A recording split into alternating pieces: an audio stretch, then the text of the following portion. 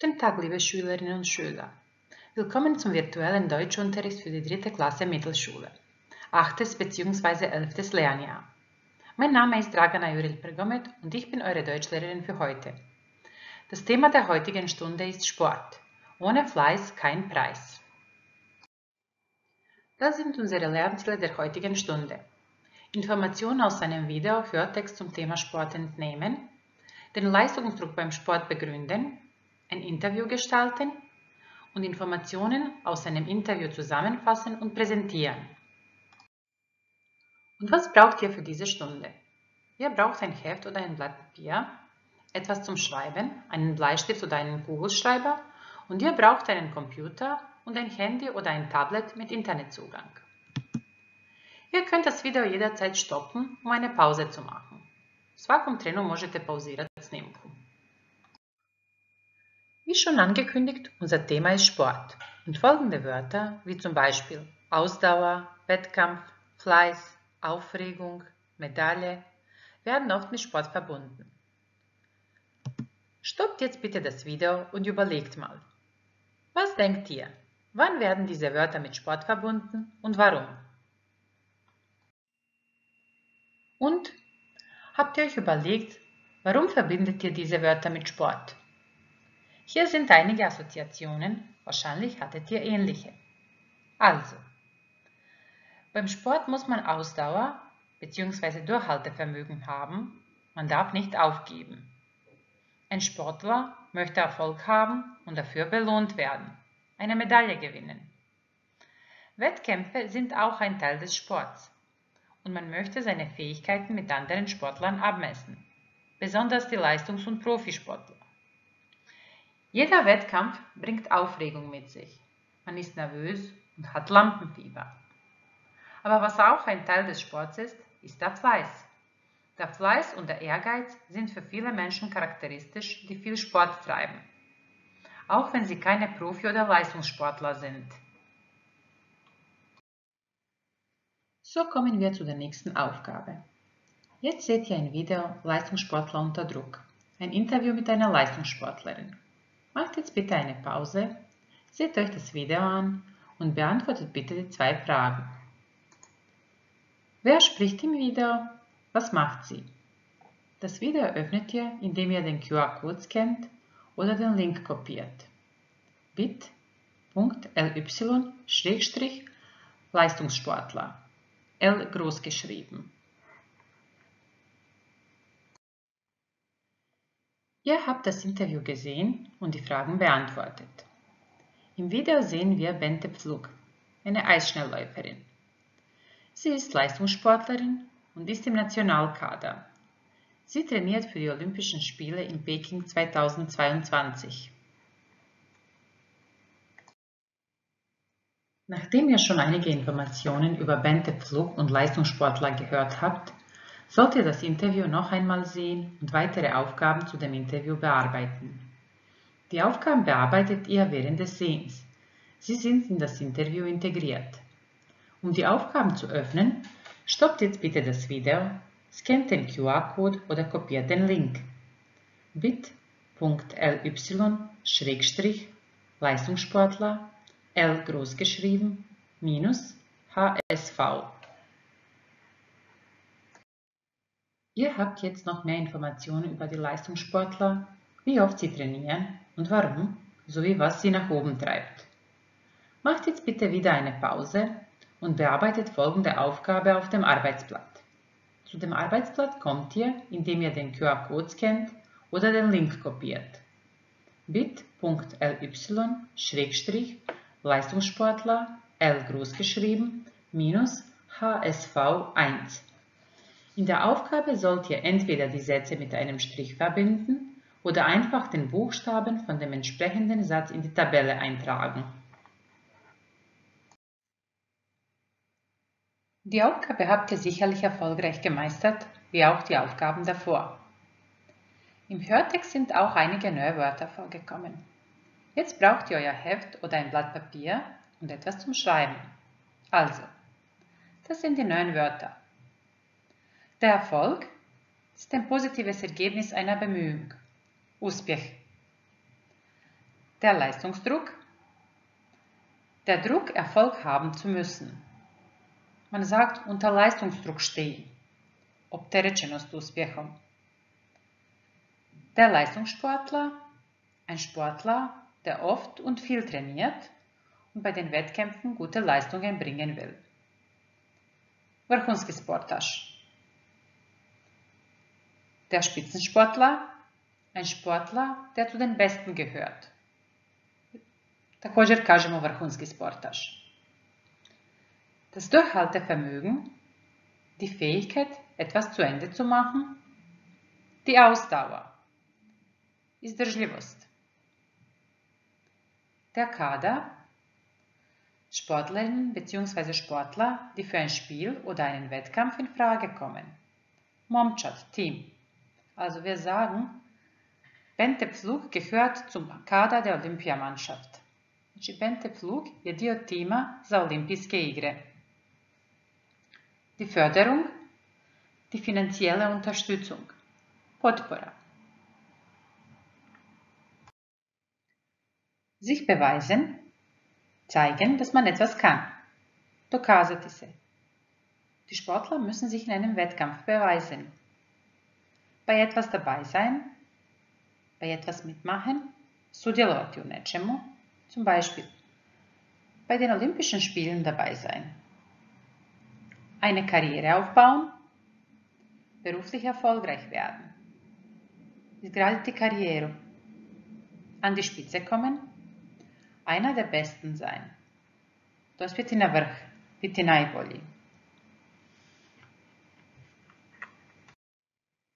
Ich hoffe, ihr habt die neuen Wörter aufgeschrieben. Jetzt gibt es ein paar Aufgaben zum Einüben des Wortschatzes. Um die Aufgaben zu öffnen, sollt ihr wieder den QR-Code scannen oder den Link kopieren. Also, bei jeder Aufgabe stoppt bitte das Video und bearbeitet sie. Bei der Aufgabe 1 sollt ihr die Wörter mit den Erklärungen verbinden. Der Link für die erste Aufgabe lautet bit.ly-sport s großgeschrieben minus ws1 ws großgeschrieben. Bei der Aufgabe 2 sollt ihr das Kreuzworträtsel lösen. Der Link für die zweite Aufgabe lautet bit.ly-sport S großgeschrieben minus WS2, WS großgeschrieben. Bei der Aufgabe 3 sollt ihr die fehlenden Wörter in den Text einsetzen.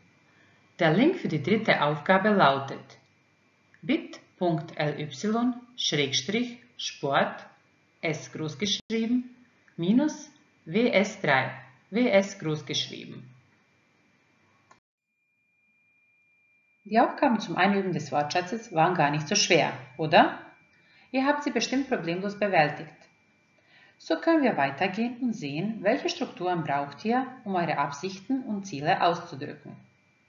Jetzt sollt ihr das Video wieder stoppen und die folgenden Sätze in euer Heft abschreiben. Wenn ihr die Sätze abgeschrieben habt, sollt ihr die Strukturen in den Sätzen markieren, wie in den Beispielen. Ihr könnt jetzt eure Sätze mit der Lösung vergleichen. Die Strukturen im ersten und im dritten Satz waren bereits markiert. Im ersten Satz handelt es sich um die Infinitivkonstruktion um zu Bente Pflug ist Eisschnellläuferin und trainiert bis zu fünfmal die Woche, um zu den Spitzensportlern zu gehören. Die gleiche Konstruktion finden wir im Satz 2. Jedes Jahr müssen sich die Leistungssportler neu beweisen, um ihren Status im Team nicht zu verlieren. Und im Satz 5. Bente Flug trainiert jetzt schon intensiv, um an den Olympischen Spielen 2022 in Peking teilzunehmen. In den Sätzen 3 und 4 finden wir die Konjunktion damit. Bente Flug muss gute Leistung zeigen, damit sie die finanzielle Förderung und ihren Kaderstatus nicht verliert.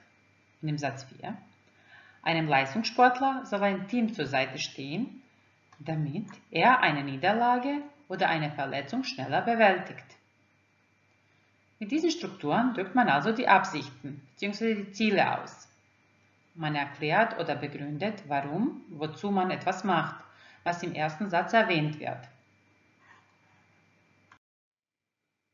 Noch einmal als Zusammenfassung.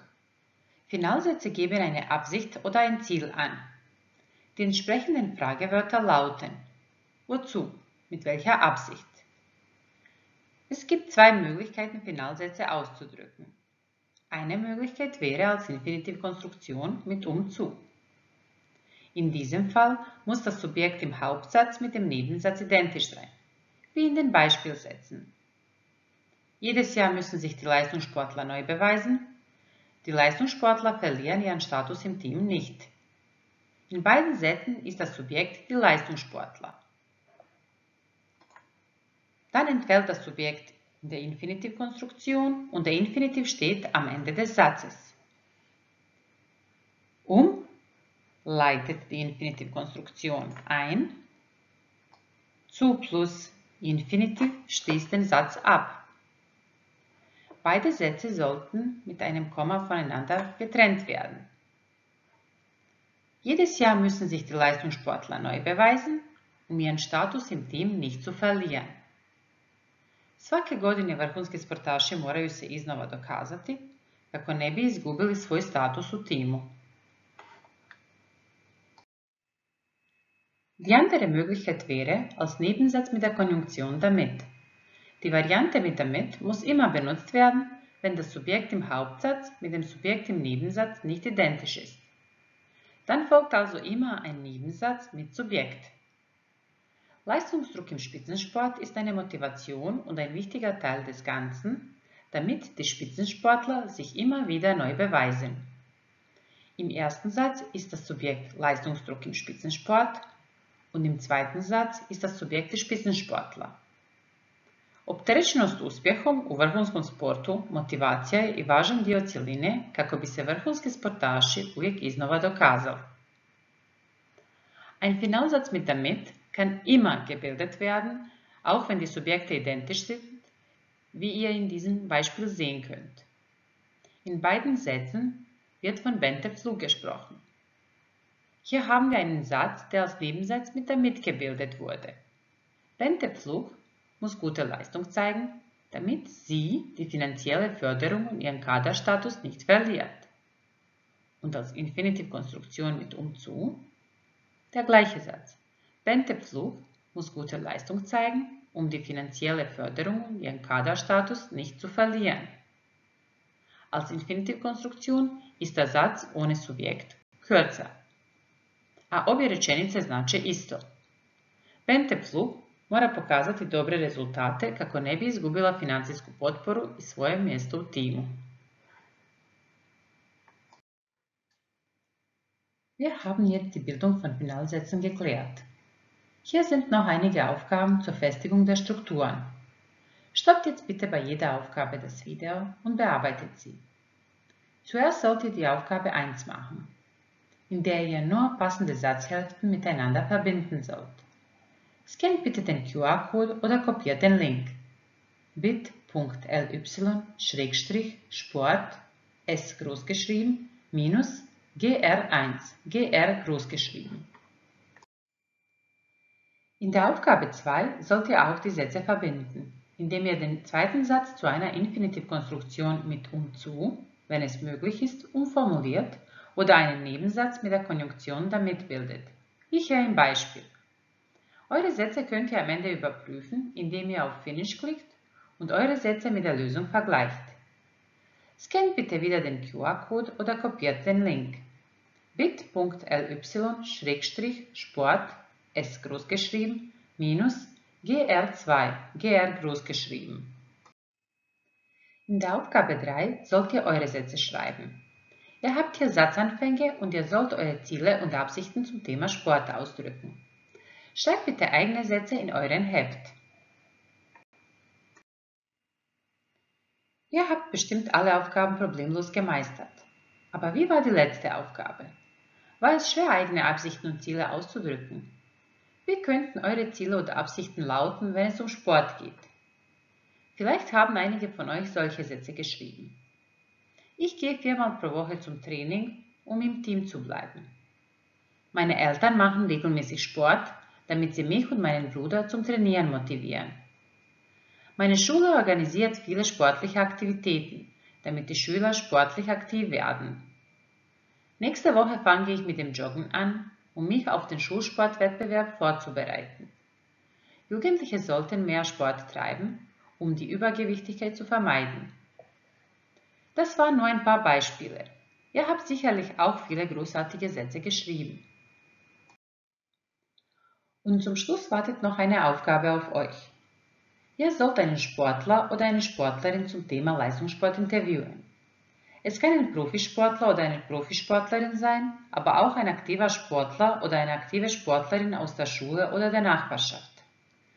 Zuerst sollt ihr Fragen vorbereiten, die ihr der Person stellen werdet.